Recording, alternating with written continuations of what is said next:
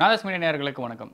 இப்போ பரபரப்பு போயிட்டு இருக்க அரசியல் டாபிக் என்னன்னு பார்த்தீங்கன்னா மன்சூர் அலிகானும் திரிஷா விஷயம் தான் திரிஷா பத்தி மன்சூர் அலிகான் ஒரு பேட்டியில் பேசின விஷயம் வந்து பார்த்தீங்கன்னா வைரல் ஆகி அது மிகப்பெரிய இஷ்யூவாகவே மாறி இருக்கு இந்த இஷ்யூவில் வந்து பார்த்தீங்கன்னா தேசிய மகளிர் ஆணையம் வந்து பார்த்தீங்கன்னா மன்சூர் அலிகான் மேலே நடவடிக்கை எடுக்கணும்னு சொல்லிட்டு தமிழக டிஜிபிக்கு வந்து பார்த்தீங்கன்னா ஒரு கடிதம் அனுப்பியிருந்தாங்க. அந்த கடிதத்தின் பேரில் சென்னை ஆயிரம் விளக்கு பகுதியில் இருக்க காவல் நிலையத்தில் மன்சூர் அலிகான் மீது வழக்கு பதிவு செய்யப்பட்டிருந்துச்சு. அந்த வழக்கில் நவம்பர் இருபத்தி மூணாம் தேதி மன்சூர் அலிகான் ஆஜராகணும்னு சொல்லிட்டு சொல்லியிருந்தாங்க. இன்னைக்கு தான் இந்த நவம்பர் இருபத்தி மூணு.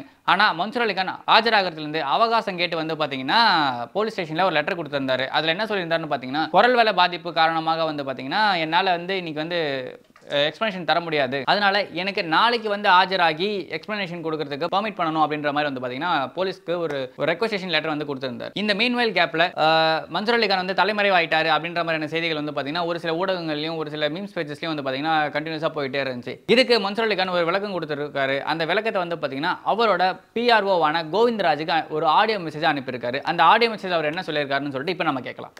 மக்கள் தொடர்பாளர் பிஆர்ஓ கோவிந்தராஜ் அவர்களுக்கு மன்சூர் அலிகானி பணிவான வணக்கங்கள். இந்த செய்தியை ஒளிபரப்புங்க எல்லாத்துக்கும். இந்த ஏபி அதாவது அன்ஸ்பெக்டிக் பெயிலுங்கிறது அது நடைமுறை. எனது வழக்கறிஞர் வாங்க இருந்தார். நுங்கம்பாக்கம் காவல் நிலையத்தில் எனது வழக்கு பதிவுன்னு வந்தவும் அந்த பேரில் பண்ணியிருந்தாங்க. அதுக்கப்புறம் தௌசண்ட் லைட்டுன்னு மாறி வந்தது. அந்த பேர்லையும் அப்ளை பண்ணியிருந்தது. இன்றைக்கி நுங்கம்பாக்கம் இது வந்தது. அங்கே பதிவு இல்லைங்க. வழக்கு வந்து தௌசண்ட் லைட் மகளிர் ஆணையத்தில் உடனே நாளைக்கு வருதுன்ட்டாங்க. இதனிடையில் குற்றவியல் நடைமுறை த தடுப்புச் சட்டம் நாற்பத்தி ஒன்று ஏயின்படி காவல் அதிகாரி அம்மையார் தௌசண்ட் லைட்டில் இருந்து கடிதம் வந்தது.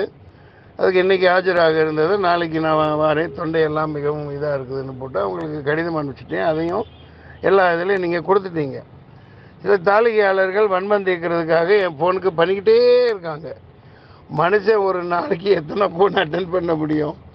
சுவிட்ச் ஆஃப் பண்ணி வச்சா சுவிட்ச் ஆஃப் பண்ணிட்டாரு. அவர் தலைமறைவாக இருக்காருன்னு சந்தோஷப்படுறாங்க.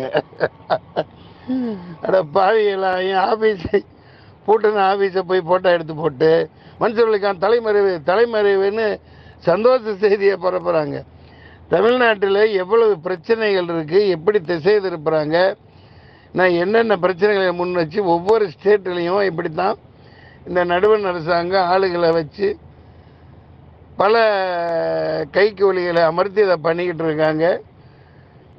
நான் எதுக்குப்பா தலைமுறை ஆகணும் அடே என்ன நான் எதுக்கு தலைமுறை நான் நிஜமாகவே எவ்வளையாவது கற்பழிச்சிட்டேனா? இல்லை யாரையாவது கொலை பண்ணிட்டேன்னா ஏப்பா ஏப்பா இப்படி ஆனந்த புலங்காயுதம் அடையிறீங்க? அதை இதை தெரியப்படுத்துங்க. நன்றி வணக்கம் நன்றி வணக்கம்.